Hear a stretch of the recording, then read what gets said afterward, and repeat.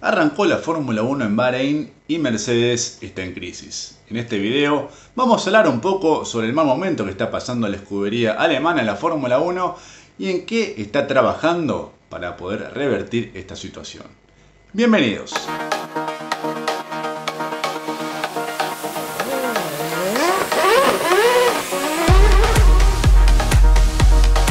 El 2022 había terminado con un sabor dulce para Mercedes, después de un proceso de evolución constante y llegar al continente americano más competitivo e incluso ganando el GP de San Pablo con George Russell, parecía que la situación de aquel inicio de 2022 estaba superada, con un auto que no respondía, el W13, y que eh, una vez terminado este campeonato 2022 que tuvo como ganadora Max Verstappen, el año siguiente iba a ser Em, de resurgimiento para Mercedes teniendo de vuelta un auto de punta con el nuevo W14. Sin embargo, en la pretemporada y en el primer GP de Bahrein, la distancia que existía contra Red Bull en las últimas carreras del campeonato se duplicó y hasta se triplicó en algunos momentos debido al flojo rendimiento del equipo alemán en la primera pista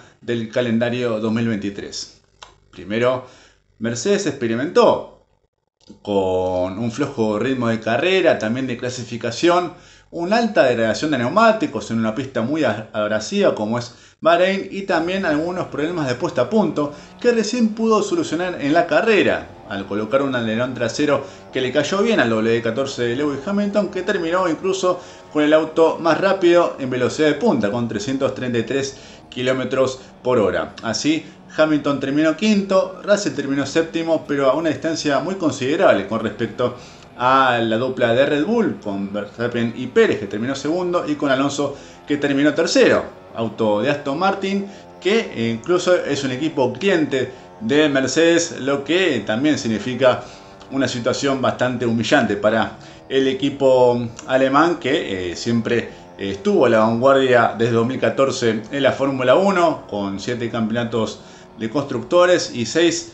de pilotos. Así que eh, es una situación bastante compleja la que vive el equipo alemán en este momento. Incluso hubo una discusión interna con Lewis Hamilton diciendo que no fue escuchado porque mm, el equipo quiso mantener el concepto aerodinámico eh, de no tener casi pontones la carrocería del W14, un concepto muy similar al que utilizó en 2022 y eh, incluso el equipo eh, divulgó en sus redes sociales una carta eh, con disculpas a los fanáticos, dando cuenta de que la crisis de Mercedes no es algo pasajero o de una carrera, sino que es una vivencia que van a tener durante toda la temporada. Ahora bien, Mercedes, después de Bahrein, ya se puso a trabajar, está pensando en un nuevo concepto para reemplazar a este W14 de estas primeras carreras de este concepto, como decíamos, eh, con sin pontones, que en inglés se dice cero pod, eh, pero que bueno, em, la posibilidad es que a partir del GP de Emilia Romagna en, en el circuito de Imola, Mercedes aparezca con una nueva concepción y con un auto que puede resultar más competitivo. El problema es que eh, también a la Fórmula 1 eh, lo aqueja el techo de gastos y Mercedes tampoco puede exceder eh, mucho su límite de gastos porque puede ser penalizado, como le ocurrió a Red Bull en esta temporada por exceder el límite de 2021 y está entre espalda y la pared. Por un lado, necesita desarrollar nuevamente su auto, pero también tiene el límite de gastos que no le permitirá gastos demasiado onerosos para poder tener un auto de punta nuevamente en la Fórmula 1. Hamilton está enojado, obviamente, porque no fue escuchado. Eh, Russell está impotente, como en declaraciones que también realizó después de Bahrein.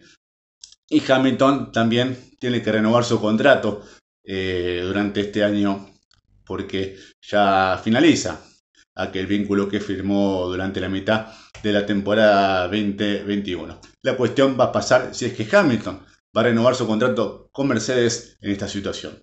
¿Lo hará? Bueno, seguimos en otro día con otro video de GP en español. Si te gustó este video, dale like y compartilo. Hasta luego.